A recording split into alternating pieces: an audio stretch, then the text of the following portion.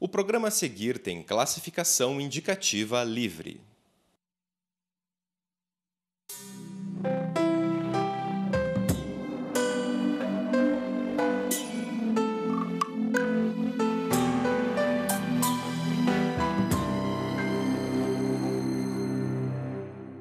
Finanças e fase da vida. Esse é o nosso tema de hoje.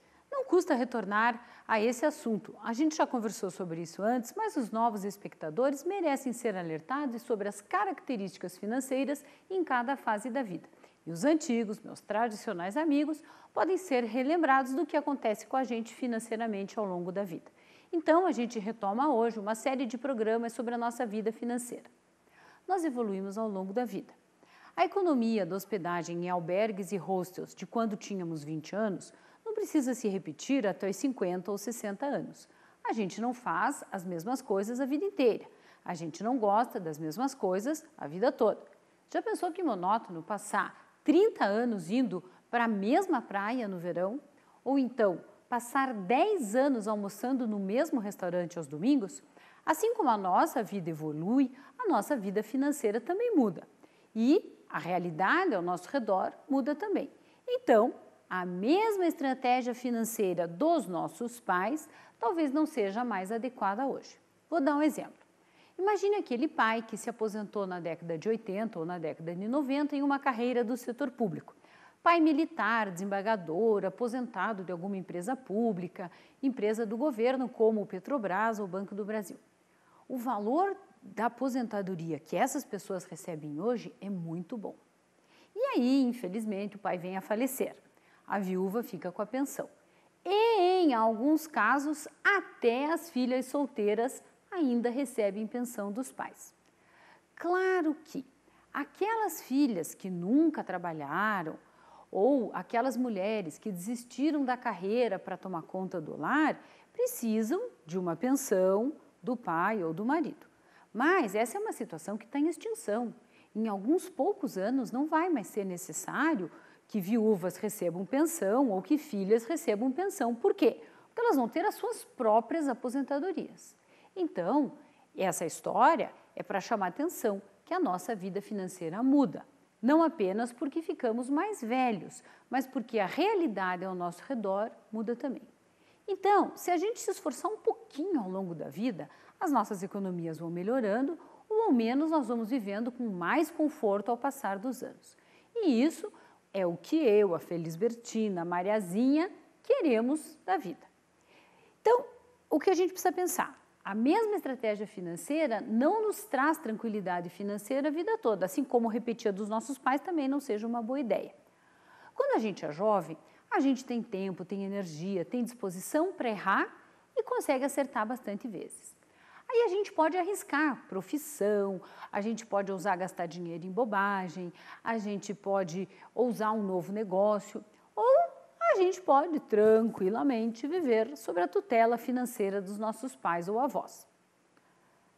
O jovem, ele tem disposição e saúde para viver modestamente, comer sanduíche e miojo várias vezes por semana, andar a pé, viajar de carona, usar roupas emprestadas. Depois de alguns anos de trabalho, trabalho árduo, economia e privações, a gente merece um pouco mais de mordomia. Nossas necessidades mudam. A gente compra um carro melhor, é, a gente passa a se vestir melhor, demanda mais médico e tal.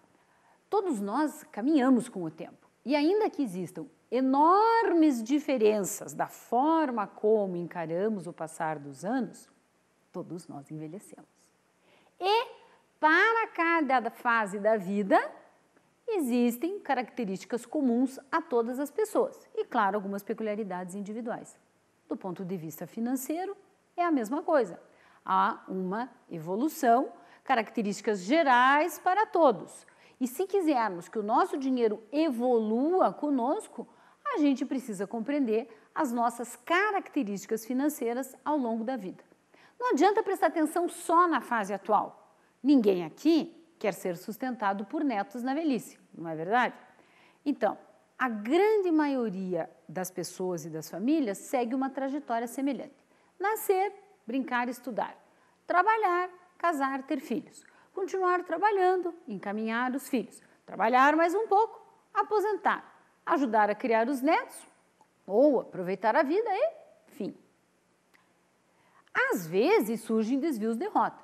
Trabalhar antes de terminar os estudos, ter filhos antes de casar, separar, destruindo toda uma vida, 10, 20 anos com uma pessoa e um patrimônio construído com essa pessoa, e casar de novo.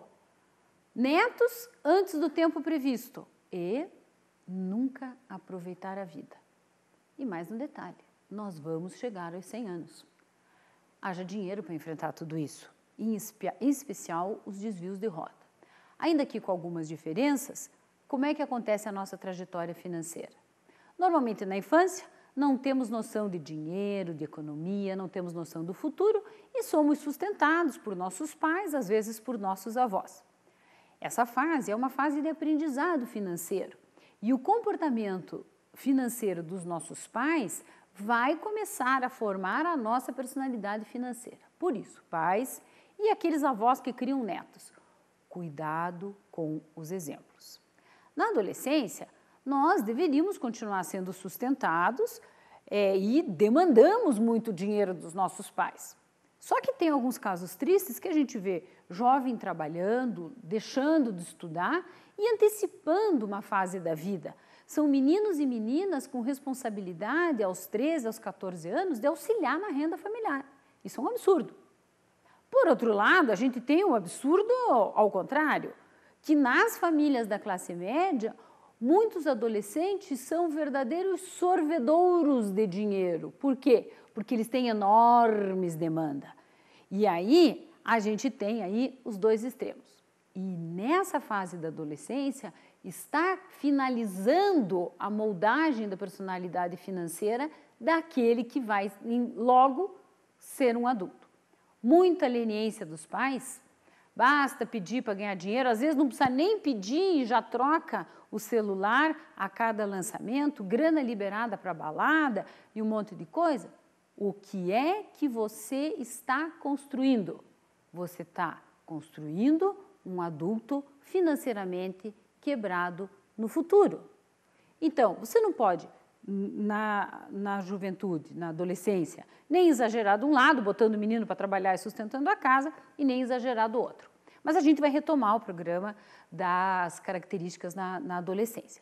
Depois vem a vida adulta, que é a vida mais longa, é onde você deixa de ser árvore para ser o tronco, é onde você passa a sustentar uma família, ou pelo menos sustentar a si próprio. Essa fase do adulto, ela se divide em duas ou três, mas a, a evidência é, é a fase mais longa e é a fase de mais responsabilidade financeira, pela sua responsabilidade financeira, porque você tem que guardar para o futuro. E finalmente vem a maturidade, a velhice, os anos dourados, como vocês queiram chamar. Essa fase, ela pode ser muito feliz, financeiramente falando, porque você poupou ao longo da vida e chega aos 60, aos 70, aos 80 anos com uma pensão, com uma aposentadoria, com um dinheiro aplicado, com imóveis que estão rendendo, enfim, você está tranquilo tem que tomar um remédio caro? Tem dinheiro para comprar um remédio caro. Precisa de fisioterapia? Consegue pagar o plano de saúde com uma boa fisioterapia. Mais ainda, quando já chegamos lá nos 90 anos, precisa de uma cuidadora? Tem dinheiro para pagar a cuidadora. E é isso que a gente quer.